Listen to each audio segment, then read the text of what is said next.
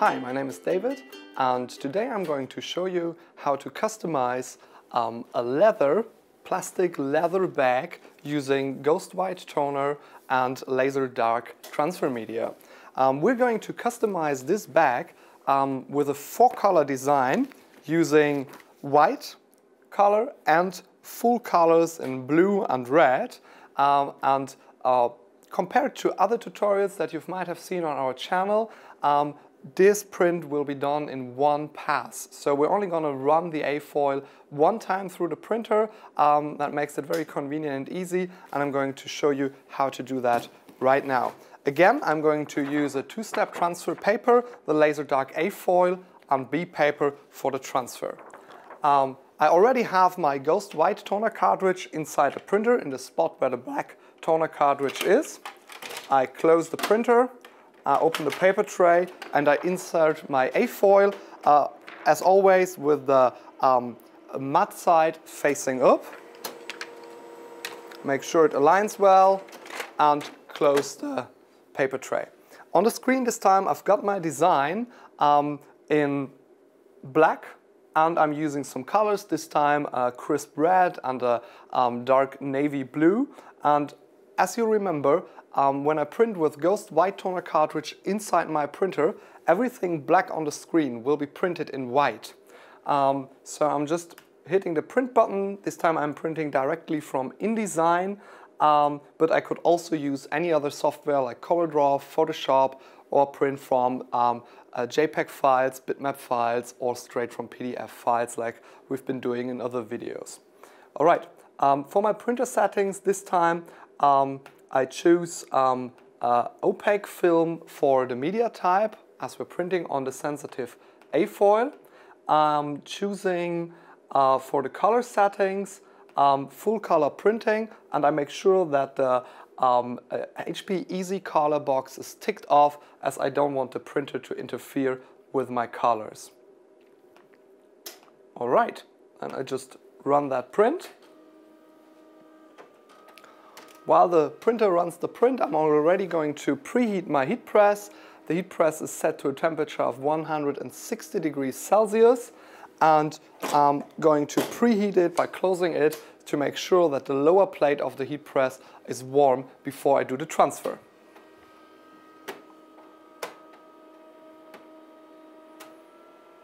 So if you want to do full color designs using white and multiple colors, um, just um, make your data, make your files um, using um, solid colors like solid red, solid yellow, solid blacks, solid greens, stuff like that. Um, and then, um, of course, black for the white parts. And as you can see, um, in one run, you get a print with white, the parts that have been black on screen, and with the colors matching up. So um, this can be straight transferred to the garment um, uh, with no second print run. Um, taking the um, B paper, the B paper can be easily identified um, by the yellow lines on the back side and um, the uh, uh, coated side is completely crisp white. I open my heat press. I place the A-foil on the bottom plate of the heat press and I have the printed side facing up. Um, a little hack here, you've seen this in other videos before. Um, I'm going to fold the edge so that I can easily grab the B paper for the peeling. I'm covering the print with the B paper, I'm making sure that the coated side is facing down, means that I can see the yellow lines on the back side of the B paper. I'm covering it with um, eight to five, eight, five to eight sheets of um, regular A3 copy paper to have a more smooth and more even heat and pressure distribution. I close my heat press, 160 degrees, two minutes. Um, I'm using quite a medium to heavy pressure here to have a good marrying of the A and B paper. Uh, the difference between other four color prints that you can see on our YouTube channel, um, like the one Harold is wearing over there, is that um, this time we're just doing a single pass print using um, uh, solid colors. The advantage of this technology is um, that you save one step in your processing. So you don't have to reinsert the A foil and do a second print run to get your white background. One advantage of the B paper is that the glue, the adhesive, which sticks to the printed um, parts on your design, uh, is also white. So by marrying the A and the B paper, you automatically attach a white background to your print, which will make the final result stick out from any dark surface that you might be printing on. So you can use this technology to print onto dark t-shirts or colored t-shirts like this one, or of course onto black surfaces like for example a black cotton shopping bag or other dark materials. So this is really, really easy um, uh, to use multicolor designs in a one-pass printing. For printing onto this heavy leather bag, um, we will have to remove the bottom part of the bag to make it fit more easily under the heat press. I will already fold the bottom um, so that I get the leather bag as flat as possible. I'm going to store that here and we're to need it later on. The foils, A and B paper and the Ghost White toner cartridge is a very versatile technology to personalize any kinds of stuff. You can go onto surfaces like wood, like felt, leather of course, cotton and also on any mixed garment using the same transfer media. I open my heat press remove the copy paper, making sure that um, the A foil and the B paper stay on the lower plat, giving it a quick wipe with a cloth to make sure that the heat goes off the paper evenly, and then I'm going to hold it down with my thumb, and I'm going to smoothly and constantly peel the design. While peeling, make sure that you peel evenly and especially when you come to the end of your design that you don't speed up but in fact slow down a little bit so that you don't rip off edges from your design. Right, as you can see here, the glue from the B paper has again perfectly attached to the printed design. And as you can see now on the print, that's the front side. You can see the colors pop out really nicely. And on the back side, you can see that white layer has been attached to the colored and of course to the white surfaces, making them really crisp. This is actually the glue, um, which is in fact white. All right, now we can apply this to our um, leather bag. Just to make sure that we don't have some excess glue on the edges, I'm roughly trimming the edge of this design to make sure that it looks really nice. All right. Now I have to lower the base plate of my heat press to make sure that the thick leather bag fits under the press. Therefore, I'm going to release the screw and I'm going to screw down my heat press, doing this quite for a few centimeters. Screw it back on the back on the heat press. Make sure that it is as even as possible and give it a quick test press if I still be able to close the heat press, of course. This feels quite good, so there's still a constant smooth pressure, but not too much, so that I won't be crushing the leather. All right, then I'm going to place my design. Um, as the handles are here, it's important that I don't place it this way, but this way, so that it will be facing the right side uh, once it's finished. All right? Once I placed my design, I'm covering it um, with a sheet of silicone paper just for protection um, of the rest of the bag so that I don't burn the bag. And I carefully close the heat press. Once closed, I'm closing the heat press and I'm going to heat press for 15 to 20 seconds. This is a plastic leather. If you would be going onto natural leather, I would suggest to press for just 15 seconds. Um, depending on the surface that you have on the substrate you are printing on, you will have to experiment a little bit um, with the times. Uh, but once you're set, you get a very constant process that you can repeat times after times after times. Okay, this was maybe a little, little longer, but that should be really, really good. Okay, before I can take off the A-foil from the bag, it has to really completely cool down. This will take us a while um, as the leather will keep the heat for quite a while. I'll put it down here.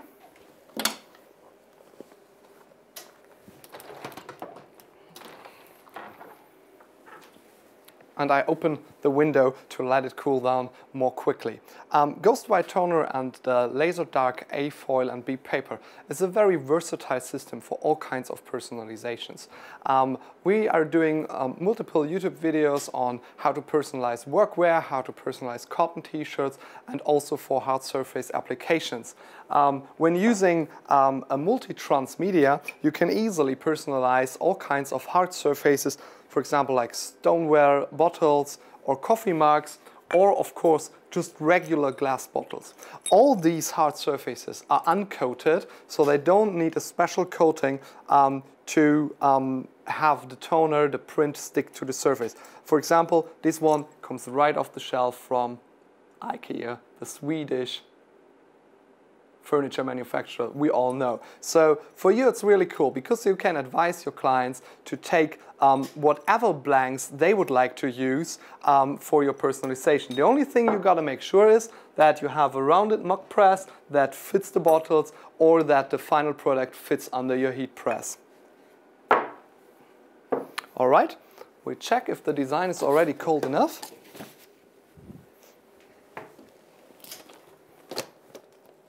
All right, after completely cold, I put the design on my workspace. Um, now this is never really even, so uh, you gotta be really careful when you start peeling, rolling over the design smoothly and constantly to peel off the design. Just make sure that you don't peel too fast, take your time. Um, this time it's really important that you are patient and that you use your fingers to keep the peel as rolling as possible. All right, very good, very good. When having a design which has been uh, pressed on an uneven or more or less um, uh, complicated surface like this one on your heat press, um, it is always uh, suggested to start with the um, farthest outing edge for the peeling, not like up here, but up there, because this makes it much more easier um, to peel safely. All right, perfect. This worked out really nice, as you can see, um, with 100% clear A-foil, 100% clear transfer, and the design has been nicely um, transferred to our leather bag. As you can see, um, the bag is still shiny, so um, uh, we're going to give it um, a finish press using some silicone paper um, to make the design move even deeper into the um, garment and to make the design look matte uh, and also uh, ensure durability and washability. As you would never probably wash your leather bag, um, when it comes to all kinds of cotton personalization, especially things like hoodies and t-shirts.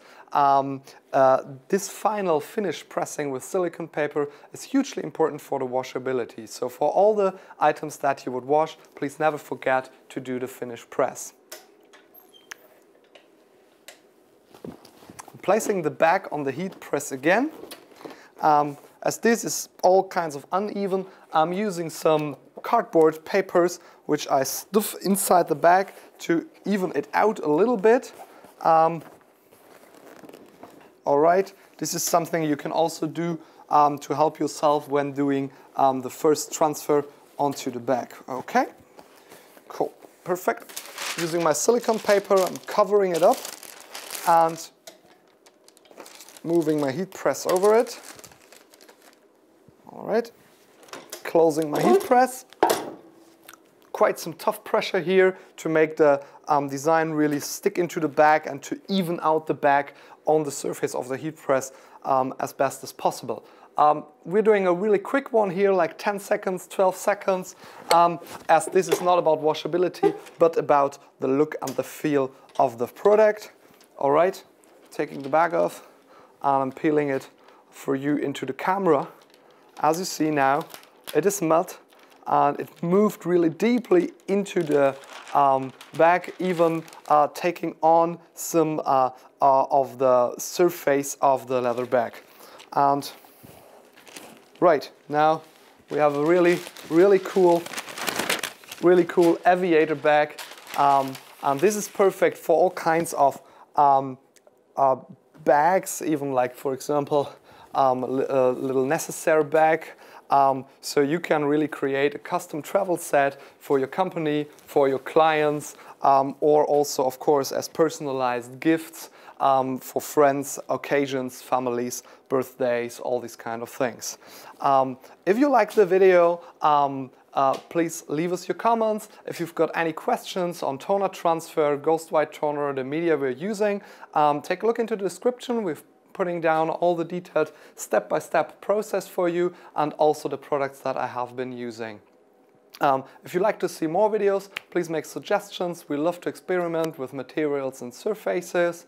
Um, if you liked the video, leave a thumbs up below. Thanks for watching. See you next time.